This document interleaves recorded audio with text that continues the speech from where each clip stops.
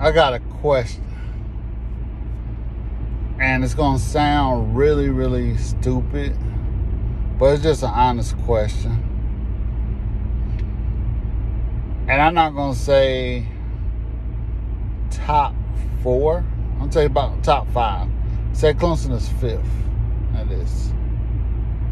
Um, a couple years ago, Texas and LSU got into a game where they were talking about DBU.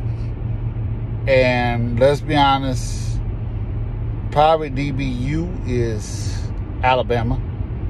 I read an article saying that Alabama probably has more defensive backs in the NFL than anybody. Um, but if you break it down by safety, it's Alabama by corners LSU.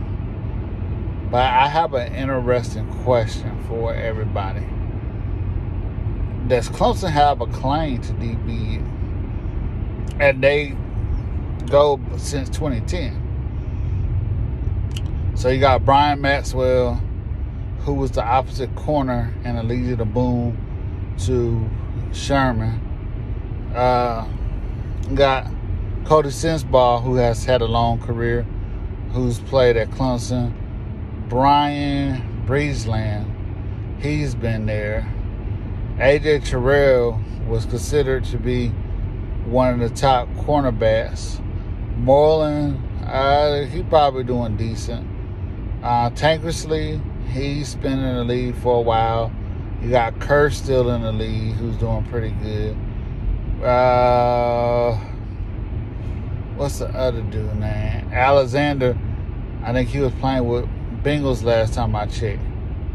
So, my question is Does Clemson have a claim to DBU?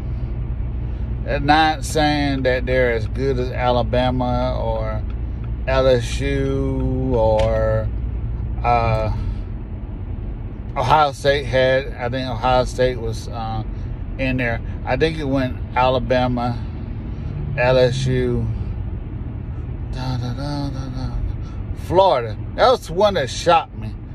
Outside of Joe Haden, I really can't name any other DB that in the league that plays for from that's from Florida. Uh, maybe I, I don't know. I can't name anybody. I'm not gonna sit up and try.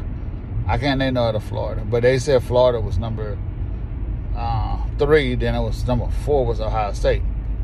But this Clemson got that fifth spot. Just asking because they have some contributors that have been really good.